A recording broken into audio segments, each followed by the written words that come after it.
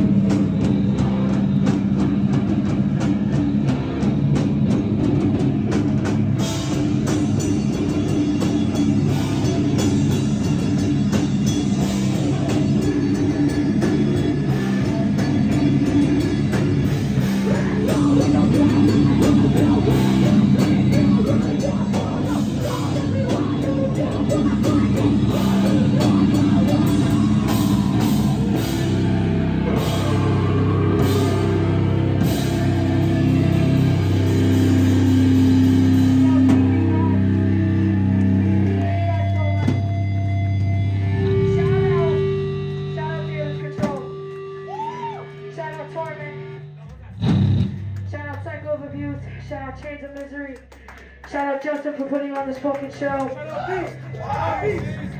Shout out Beats for Beats for doing sound and back. Be real for that one. Come on now.